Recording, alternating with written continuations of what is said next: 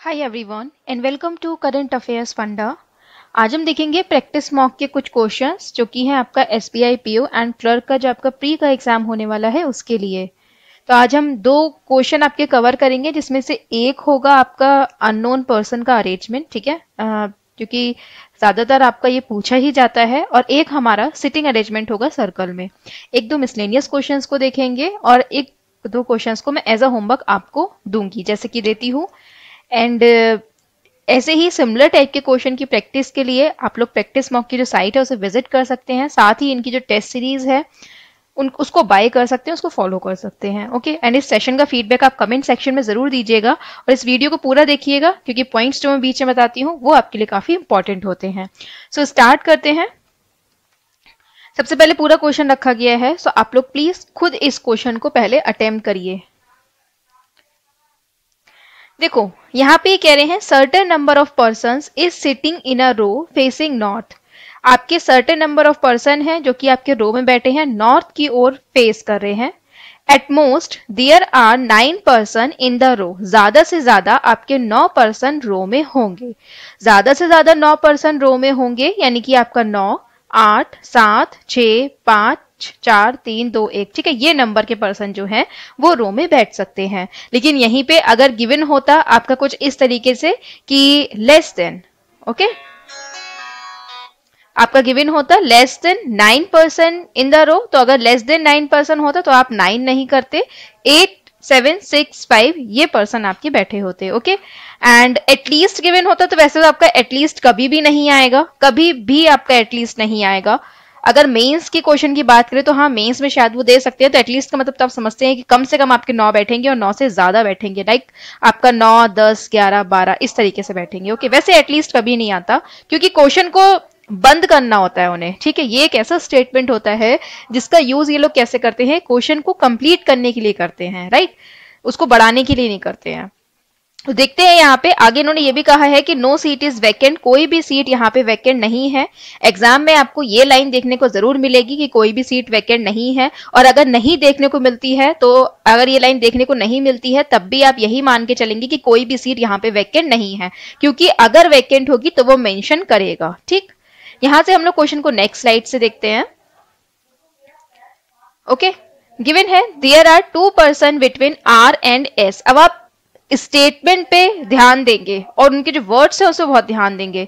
यहाँ पे पर्सन की बात कही गई है। आर और एस के बीच में आपके दो पर्सन बैठेंगे, ठीक? अब दूसरी बात, यहाँ पे अगर पर्सन की बात कही गई है तो इसका मतलब ये नहीं होगा कि यहाँ पे आपके नॉन पर्सन ही आएँगे ओके ये वैकेंट आपका सीट वाला नहीं है, ठीक?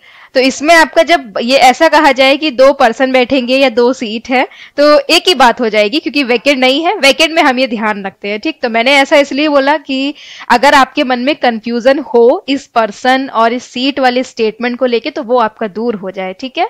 वैकेंट जब होता है, तब हम लोग इन चीज़ों पर ध्यान देते हैं। अदरवाइज़ जब अननोन पर्सन की बात होती, तब हमें ऐसा कुछ ध्यान देने की ज़रूरत नहीं होती बिकॉज़ पर्सन तो बैठे हैं, सिर्फ़ हम उनके नेम नहीं जानते हैं ओके तो कुछ नहीं करना है, आप नॉर्मल सा इसको लिखेंगे। कि आर और एस के बीच में आपके दो पर्सन बैठेंगे ओके फिर उसके अलावा आगे कह रहे हैं T sits two place away from R T जो है वो टू प्लेस अवे है आर से। देखो टू प्लेस अवे लिखा हुआ है फार लिखा हुआ है, ठीक है? तो इसका मतलब यही होता है कि जितना आपका नंबर लिखा है, उससे एक माइनस यानी कि अगर टू प्लेस अवे यानी कि सेकेंड साइड में बैठा है, ठीक है? सेकेंड टू दी लेफ़्ट होगा, या फिर सेकेंड टू दी राइट होगा। तो second to the left second to the right होगा तो कितने का गैप होगा? इनके बीच में एक का गैप होगा। सो आर एंड टी के बीच में यहाँ पे एक का गैप आएगा ओके तो देन आगे कह रहे हैं no one sits to the left of Q Q के लेफ़्ट में कोई भी पर्सन नहीं आएगा। सो so, क्यू के लेफ़्ट में यहाँ पे कोई भी पर्सन नहीं आएगा। इसका मतलब आपका क्यू जो है वो कैसे बैठेगा? सबसे लेफ़्ट कॉर्नर में बैठेगा। Okay okay? क्योंकि यहाँ पे ऐसा तो कुछ कहा नहीं गया है कि आपका कोई भी सीट वैकेंट होगी। अगर यहाँ पे वैकेंट होती तो हम मान सकते थे कि यहाँ पे आपका जो आ, मतलब सीट है लेकिन क्यू जो है वो आपका सेकेंड टू दी लेफ़्ट आएगा। मतलब लेफ़्ट से सेकेंड नंबर पे आएगा। ठीक है? एंड इसके अलावा यहाँ पे आगे कह रहे हैं कि there are at least three person between Q and R Q और आर के बीच में एटलीस्ट आपके तीन पर्सन आएँगे तो क्यू तो एक तो आपका लेफ़्ट हैंड पर आएगा और क्यू और आर के बीच में या तो तीन पर्सन होंगे या तीन से ज़्यादा होंगे। ठीक, उसको हम बाद में देखेंगे जब अपने पॉइंट्स लिख लेंगे तब। उसके बाद कह रहे हैं the number of person to the right of T is more than that to the left of R तो नंबर ऑफ़ पर्सन जो है वो टी के राइट right में ये ज़्यादा होंगे किससे? जितना आर के लेफ़्ट में होंगे उनसे। ठीक? तो आप किसी भी तरीके का साइन बना सकते हैं। Then P is six from the right end तो पी जो है वो कैसे आएगा? आपका जो राइट right एंड होगा उससे सिक्स होगा। तो जैसे कि one two three four five six P यहाँ पे कहीं पर आएगा। ठीक है? मे बी आपका जो क्यू uh, है वो यहाँ पर हो, Q एंड P एक दूसरे के एडजस्टेंट तो ये भी हो सकता है, क्योंकि one two three four five six and seven seven seats आपकी हो रही हैं यहाँ पे। ठीक? इसके अलावा देखोगे तो at least two person sit between P और एस पी और एस के बीच में या तो दो या फिर दो से ज़्यादा आपके पर्सन आएँगे। अब एक बार सीट जो है, उसे गेस करने की कोशिश करो, ठीक है? पी के राइट में आपके यहाँ पे पर, पाँच पर्सन आएँगे बिकॉज़ पी जो है वो राइट हैंड से सिक्स नंबर पे होगा। तो टोटल नंबर ऑफ़ पर्सन हमें ज़्यादा से ज़्यादा कितने चाहिए? नौ चाहिए ठीक? तो यहाँ पे क्या हो सकता है कि क्यू और पी एक दूसरे के एडजस्टेंट हो। तो क्यू हो गया लेफ़्ट एंड पी इसका एडजस्टेंट हो गया फिर one two three four five इस तरीके से पर्सन आ गए ओके तो एक तो ये हो सकता है। दूसरा यहाँ पे गैप भी हो सकता है कि एक का गैप हो और फिर one two three four and five ठीक तो one two three four five six seven eight eight ये हो गया, ठीक? दूसरी पॉसिबिलिटी ये है। तीसरी पॉसिबिलिटी ये है कि इनके बीच में आपका दो का गैप हो, और फिर one two three four five तो one two three four five six seven eight and nine तो ये भी आपकी तीसरी पॉसिबिलिटी बनेगी। ठीक, अब आप इसे हटा देंगे। यहाँ पर ये हो गया हमारा राइट हैंड ये हो गया लेफ़्ट हैंड ठीक है, ये राइट हैंड लेफ़्ट हैंड ये राइट हैंड और ये लेफ़्ट हैंड ओके या तो इसमें आपका सारा फिक्स होगा या इसमें या इसमें। अब देखो, P और S के बीच में आपका दो या दो से ज़्यादा आएँगे। तो इस वाले डायग्राम पर आ जाओ। एक एक करके हम लोग यहाँ पे इसको देखेंगे। देखो कम से कम आपके दो तो आएँगे ही। तो अगर दो का गैप करके मैं एस को यहाँ लिखती हूँ तो एस और आर के बीच में जो दो का गैप देना है, क्या हम वो दे पाएँगे? हम वो नहीं दे पाएँगे। इसलिए आपका जो एस है, वो कहा नहीं आएगा? यहाँ पे नहीं आएगा। तो अगर हम दो से ज़्यादा देते हैं तो एस आपका यहाँ पर आएगा और वन और टू का गैप करके आर यहाँ पर आएगा। लेकिन यहाँ पे आपको पॉइंट्स जो है, वो ध्यान में रखते हुए चलना है सारे। यहाँ पे क्या कहा गया है कि Q और R के बीच में तीन या फिर तीन से ज़्यादा का गैप आएगा। तो यहाँ पे देखोगे Q और R के बीच में जो गैप है वो कितना हो रहा है? खाली एक का हो रहा है, इसलिए ये पॉसिबिलिटी भी यहाँ पे नहीं रहेगी। एंड अगर आप S को यहाँ लिखते हो तो वन एंड टू का गैप करके आपका R यहाँ पर हो जाएगा, तब भी आपका Q और R के बीच में लेस देन थ्री का गैप है, इसलिए ये वाला डायग्राम यहाँ से हट जाएगा। अब बात करते हैं इस वाले डायग्राम की। सो वन एंड टू का गैप दोगे अगर इसमें आप वन एंड टू का गैप दोगे तो आपका एस यहाँ पर आएगा, लेकिन फिर वन और टू का गैप करके आप आर नहीं दे सकते हैं, इसलिए आपका एस यहाँ नहीं आएगा। देन इसके अलावा अगर आप वन, टू, थ्री का गैप करते हो तो एस यहाँ पर आएगा एंड वन और टू का गैप करके आपका आर यहाँ पर आ जाएगा, लेकिन आपका लेस देन थ्री का गैप रहेगा। तो आप क्या करेंगे? एस को यहाँ नहीं लिखेंगे, एस को आप कहाँ लिखेंगे? यहाँ पे लिखेंगे और वन और टू का गैप करके आप आर को यहाँ पे देंगे। तो यहाँ पे कहा गया था कि एटलीस्ट तीन परसेंट का गैप होना चाहिए सो एटलीस्ट तीन परसेंट का गैप तो आपको यहाँ पे मिल रहा है। ठीक आपका वन टू थ्री तीन का गैप मिल रहा है। तो ये तो फिर हमारा इस पॉसिबिलिटी में सही हो रहा है। इस पर आ जाते हैं तो इस पर अगर आप देखोगे तो अगर आपका एस जो है, वो दो का गैप करके यहाँ आता है तो आप आर फिक्स नहीं कर सकते हैं। इसलिए आप कहा कहाँ रखेंगे? एस को यहाँ रखेंगे तो वन एंड टू का गैप करके आपका आर यहाँ आ सकता है, लेकिन इसमें एक पॉसिबिलिटी और बन सकती है। Q one two P one two three ठीक है one two three four five six seven eight four five six seven eight and nine okay तो ये हो जाएगा nine okay one two three four five ठीक? तो एस आपका यहाँ पर आके वन और टू आर आपका यहाँ पर आ सकता है, ठीक? तो ये भी आपकी एक पॉसिबिलिटी बन सकती है तो इसे आप हटा दोगे। अब गिवन है आर और टी के बीच में एक का गैप आएगा तो इस कंडीशन के अकॉर्डिंग टी यहाँ पे, इस कंडीशन के अकॉर्डिंग आपका जो टी है वो यहाँ भी आ सकता है और टी यहाँ भी आ सकता है।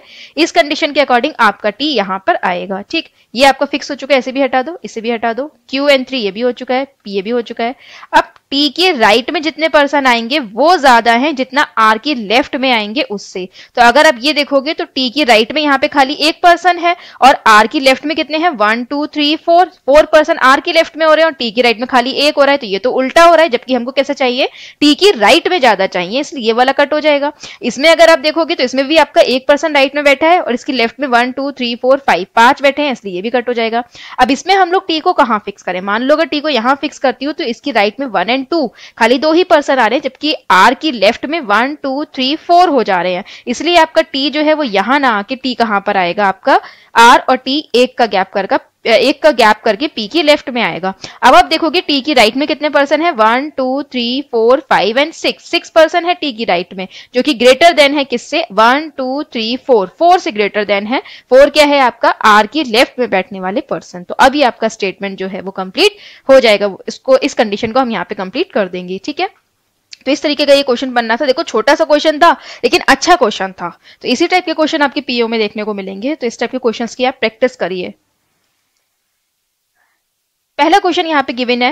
Who among the following sits to the immediate left of R R के इमीडिएट लेफ़्ट में कौन है? सो so, यहाँ पे पी बैठा है। सो ऑप्शन नंबर बी होगा correct answer then how many person are sitting in the arrangement कितने पर्सन अरेंजमेंट में बैठे हैं? तो नाइन पर्सन बैठे हैं अरेंजमेंट में। सो ऑप्शन नंबर सी होगा। नोन होता तो हम लोग यहाँ पे one two three four five five पे टिक लगाते okay okay?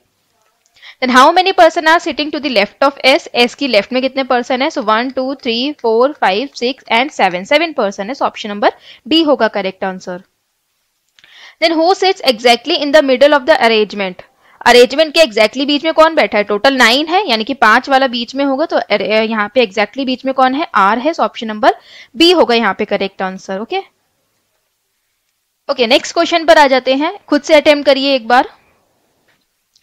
देखो, यहाँ पे कह रहे हैं सिक्स पर्सन ध्यान रखिएगा पेपर में, जल्दीबाजी में कभी कभी आप लोग पढ़ते नहीं है कि टोटल नंबर ऑफ़ पर्सन कितने हैं और आप अपना डायग्राम जो आपका हाथ सेट होता है, आठ पर्सन पे उसे बनाकर बैठ जाते हैं और फिर तो वो गड़बड़ी हो जाता है, ठीक? तो थोड़ा सा माइंड को खोल कर और बिल्कुल पेशेंस के साथ क्वेश्चन को बनाइएगा, आराम से दिमाग खोल के। तो यहाँ पे ये कह रहे हैं कि सिक्स पर्सन है P Q R S T and U are sitting around a circular table equal number of person is facing towards और अवे फ्रॉम द सेंटर यानी कि तीन पर्सन जो है वो कैसे देखेंगे? इनसाइड देखेंगे और तीन जो है वो कैसे देखेंगे? आउटसाइड देखेंगे। Not more than two adjacent person face in the same direction दो से ज़्यादा आपका सेम डायरेक्शन वाले नहीं आएँगे, यानी कि दो इनसाइड फेस करेंगे तो तीसरा जो बैठेगा लगातार वो आउटसाइड फेस करेगा। ठीक? इस पॉइंट को आप ध्यान में रखेंगे। यहाँ से हम क्वेश्चन को नेक्स्ट स्लाइड से स्टार्ट करते हैं ओके देखो, ये जो मैं छोटी छोटी चीज़ें बताती हूँ ना कि सिक्स परसेंट की जगह आप एट परसेंट ना बना लें, ये गलती एक्चुअली एस्पायरेंट से होती ही है, ठीक? जितने मैंने इस पेरेंट से बात करी है, उनसे क्वेश्चंस जब नहीं बनते हैं तो अगर मैं पूछती हूँ कि आपसे क्यों नहीं हुआ तो बाद में उन्हें इस गलती का रियलाइज़ होता है या फिर ऐसा भी होता है कि कई बार अपना टाइम वेस्ट कर देते हैं, लेकिन बाद में उनसे क्वेश्चन बन जाता है। तो वो टाइम भी आप वेस्ट ना करें, इसलिए मैं आपको रिमाइंड कराती हूँ। मैं ये नहीं बोल दी कि आप ध्यान से नहीं पढ़ते या फिर आपसे ये मिस्टेक होती होगी, ऐसा नहीं है। मे भी आप बहुत अच्छे से क्वेश्चन को करते हो, लेकिन कभी भी इस टाइप की गलती ना हो, इसलिए मैं आपको यहाँ पे ये बार बार याद दिलाती हूँ। अब देखो यहाँ पे छह पर्सन है। Q sits second to the left of P, such that both face in same direction. तो Q जो है वो second to the left है P के। तो बना लेते हैं इसको। Q जो है वो second to the left है P के। तो यहाँ पर आपका एक का गैप होगा। एक बार में P को हम इनसाइड दिखा देंगे और एक बार में हम P को आउटसाइड दिखा देंगे। ठीक है? तो सेकेंड टू द लेफ़्ट है ना तो इसमें हम इनसाइड दिखा देते हैं। और इसमें हम आउटसाइड दिखा के क्यू, को यहाँ कर देते हैं ठीक? और दोनों सेम डायरेक्शन देखेंगे तो दोनों को हम लोग सेम डायरेक्शन उनके उनके डायग्राम के अकॉर्डिंग दे देते हैं। R sits immediate left of S but not adjacent to P R जो है वो इमीडिएट लेफ़्ट है किसके? एस के लेकिन पी के एडजसेंट नहीं है तो इसको हम लिख लेते हैं कि एस के इमीडिएट लेफ़्ट में आर आएगा लेकिन आपका पी के एडजसेंट नहीं होगा तो आर और पी जो है वो एडजसेंट नहीं होंगे। Then T is adjacent to Q T जो है वो एडजसेंट है क्यू के and face in the same direction as P और सेम डायरेक्शन देखेगा पी के। अब देखो, यहाँ पे इजी सी बात है कि जब आपका टी जो है वो एडजसेंट है क्यू के और सेम डायरेक्शन में देख रहा है पी के तो यानी कि पी और क्यू जो दोनों इनसाइड देख रहे हैं, इसका मतलब टी भी आपका इनसाइड देखेगा। और अभी हमने ये पढ़ा था कि आपका जो तीन सॉरी जो दो पर्सन है, दो से ज़्यादा आपका सेम जो पर्सन होंगे, दो से ज़्यादा जो भी सेम फेस कर रहे होंगे, वो साथ साथ नहीं बैठेंगे। इसलिए हम लोग पी और क्यू के बीच में टी को नहीं बैठा लेंगे बिकॉज़ यहाँ पे फिर पी टी और क्यू तीनों सेम डायरेक्शन देखेंगे। इसलिए हम लोग टी को कहाँ बैठा लेंगे? यहाँ बैठा लेंगे और इसको इनसाइड देंगे। इसमें भी हम लोग इनको बीच में नहीं बैठा लेंगे टी को बीच में नहीं बैठा लेंगे, यहाँ बैठा लेंगे और आउटसाइड देंगे। अब इस डायग्राम के अकॉर्डिंग आपका वन टू एंड थ्री तीनों आपके इनसाइड हो चुके हैं, यानी कि अब जितने आएँगे, सब आउटसाइड वाले आएँगे। इसमें आपका सारे आउटसाइड हो चुके हैं तो अब ये जितने आएँगे आपका यहाँ पे इनसाइड वाले आएँगे, ठीक? देन यहाँ पे जो आपका ये कहा गया है कि एस के इमीडिएट लेफ़्ट में आर आएगा, वैसे एक बात मैं और कहना चाहूँगी, जैसे कि मैं इस पॉइंट पर आई, लेकिन ऐसा ज़रूरी नहीं है कि आप फटाफट पॉइंट को ही चेक कर रहे हैं। जब आप के सामने कोई भी ऐसी कंडीशन आ जाए कि देखो यहाँ पे आपके, आपको मतलब जो आपका डिफरेंस है, वो आपका फेस में आ रहा है। तो आप किसी ऐसे पॉइंट को ढूंढें जिससे आपको ये पता चले कि इस पर्सन का फेस जो है वो सेंटर की तरफ़ है या फिर नहीं है। क्योंकि वो एक पॉइंट होता है जो कि आपकी पॉसिबिलिटी को कट करता है। जैसे कि यहाँ पे ये कहा गया U does not face away from the centre U जो है वो बाहर की ओर नहीं देखेगा। तो अगर आप यहाँ पे देखोगे कि तीनों जो सीट्स बची हैं, वो सारी बाहर वाली बची है, इसलिए ये कट जाएगा। इसमें हमारा करेक्ट आंसर आएगा। ठीक? तो इस चीज़ को आप ध्यान दें। ठीक है? अभी तो जैसे कि ये लास्ट स्टेटमेंट था, हमने पढ़ लिया। लेकिन ज़रूरी नहीं है कि आपका जब लाइन वाइज आए तो आप लाइन वाइज ही पढ़े, उसको क्रैक करने की कोशिश करो। एस के इमीडिएट लेफ़्ट में आर आएगा सो एस यहाँ पर आ जाएगा आर आपका यहाँ पर आ जाएगा ओके एंड जो आपका यू बचेगा, वो यहाँ पर आ जाएगा। ठीक? कंप्लीट हो गया question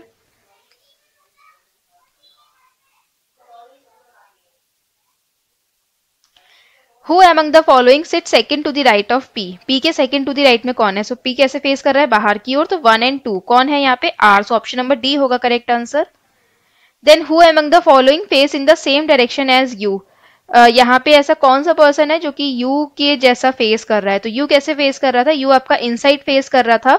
तो इनसाइड वाले ही पर्सन होने चाहिए जिसमें से एक एस है और एक आर है। तो आर और एस में से कोई भी एक आपका यहाँ पे गिवन होगा। तो आर गिवन है। सो ऑप्शन नंबर बी होगा करेक्ट आंसर एक दो क्वेश्चन मिसलेनियस को देख लेते हैं तो ई e यहाँ पर है पी यहाँ पर है। दोनों को कनेक्ट कर रहा है J so E is greater than J और जे जो है वो ग्रेटर देन है पी से तो आपका फ़र्स्ट फॉलो होगा।